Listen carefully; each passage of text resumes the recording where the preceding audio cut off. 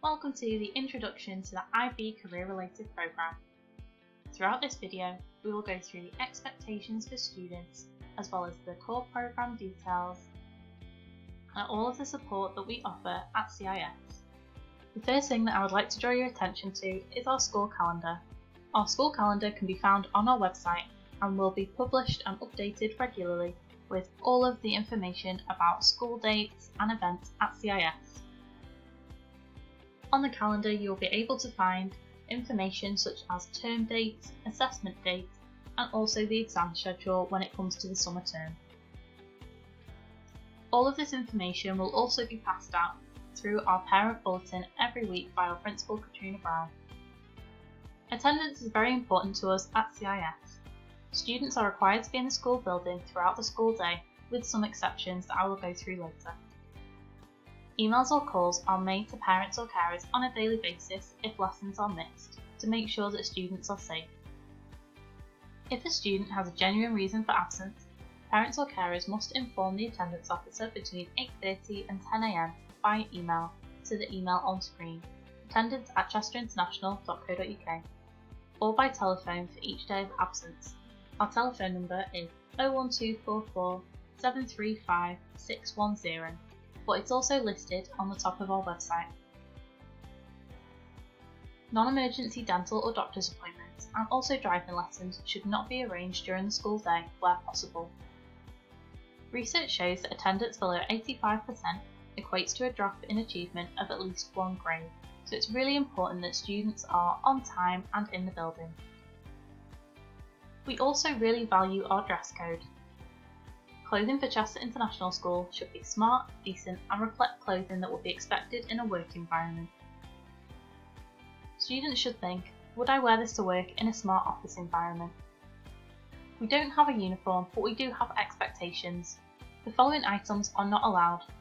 Non-school style hoodies, jeans or jean style trousers unless they are black, leggings, trainers, tennis or other sports shoes, tank tops or strappy tops,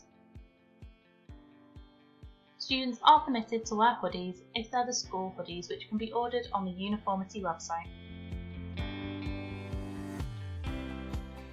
Out of respect for our environment, we also have expectations about food and drink in the building. Students may only eat in the student common room, second floor co-working space and in the dining room.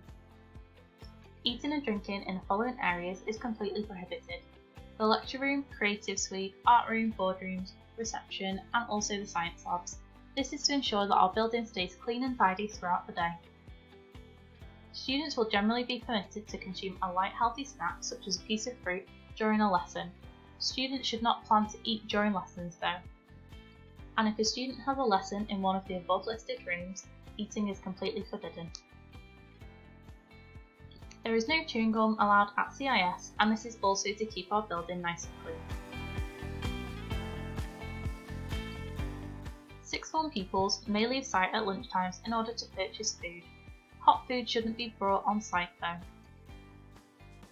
Sixth form pupils may go home for the day following afternoon registration if they have no more lessons on that day. This is an additional measure to ensure social distancing guidelines are followed. Students should make sure that they get their afternoon registration mark before going home for the day though. This is to help us make sure that students are safe during the day. We also have expectations about self-study at school. Students are timetabled into several self-scheduled study periods.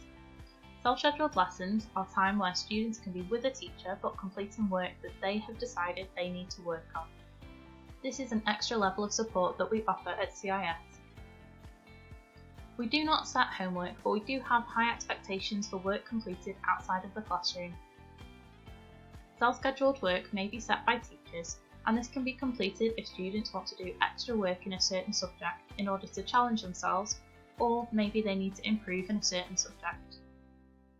This work will be published on Canvas for students to access at any time they wish. It is a safeguarding requirement for all students to visibly wear their student ID lanyard. All students will be issued with their own student ID lanyard and will be responsible for its safekeeping. These are generally printed at the start of the school year. Replacement ID will incur a charge of £5, so it's important that students keep these safe. Wellbeing is also really important to us at CIS. We have lots of things on offer to help students' wellbeing. The first thing that we have on offer is student coaching. Our coaches are called Sarah, Vicky and Natalie. Students can meet with their coach when needed to discuss any issues that they may have, whether these be personal, academic, or to do with anything else in their life. School is not just about academic performance. It's also about ensuring that students are ready for the world ahead, and this means that looking after their mental health and personal well-being is really important. On a Friday morning during team meet, students will take part in scheduled wellbeing activities. We also have electives. On a Tuesday afternoon, students will take part in a sport activity. This means that students are able to come in their own clothes on a Tuesday in order to prepare them for the sport activity. Students choose which activity they want to take part in because it's important that they enjoy this time. Students also take part in a creative elective on a Thursday. Academic mentoring at CIS is another big part of our school. Students will meet with their academic mentors a minimum of once per half term. Students will see their academic mentors every day during team week. Meeting with an academic mentor is an opportunity to reflect on progress.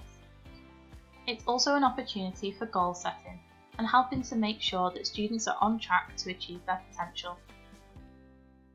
Academic mentors will also help students with planning for their future. For instance, sixth form tutors will help students with university applications and also writing their references.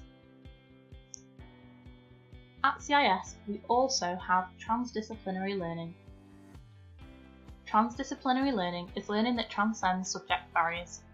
In the real world, learning doesn't take place within subject silos, and so it shouldn't at school either.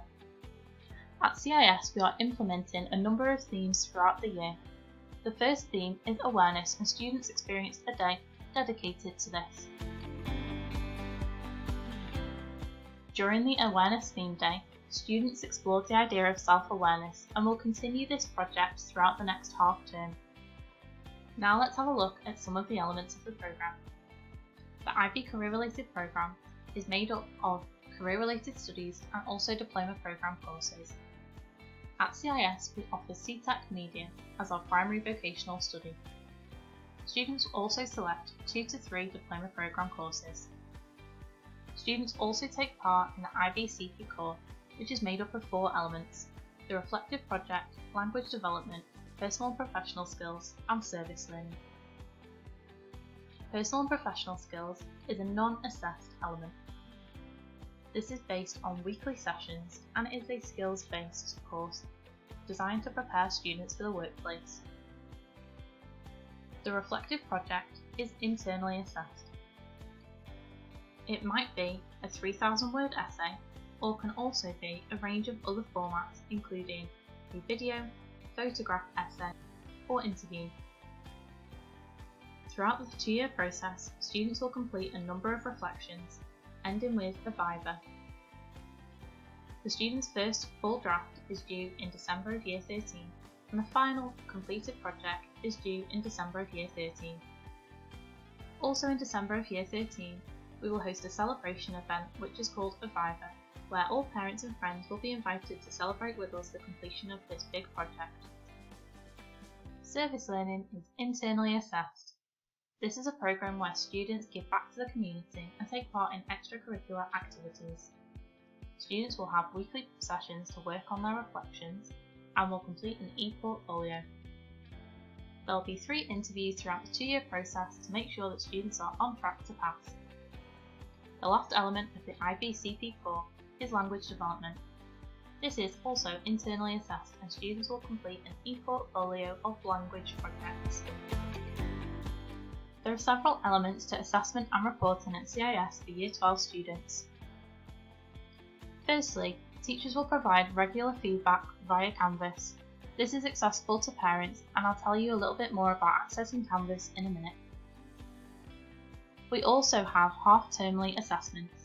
The dates for these will be communicated via the weekly parent bulletin, but dates are also available on Canvas for each individual subject. These dates will also be published on the school calendar on our website. In December, students in Year 12 complete their winter assessments. These are the first big exam papers that students will have. There will be a report in January to communicate progress based on these exams and it's a good opportunity to see how students are achieving in the DP as a whole. In June, students will complete their big summer assessments. This will follow with an end of year report in July. The winter and summer assessments are more like mock exams, whereas the half-termly assessments may not be a full pass paper. Parents and guardians have access to Canvas, our online learning platform, you can observe students' accounts on Canvas to access teacher feedback as an ongoing process of feedback rather than waiting for one end of year report. We find it's really beneficial to be open about progress. You can also access students' grades in this way. To sign up for a parent account on Canvas, you need to go to our Canvas website, which is at cis.instructure.com. The link for this is also on our website.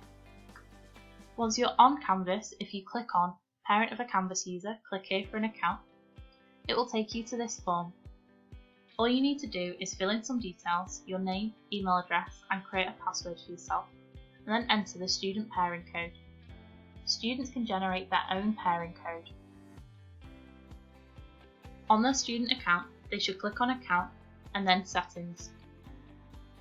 Here, there is an option to pair with an observer, which will generate a pairing account code.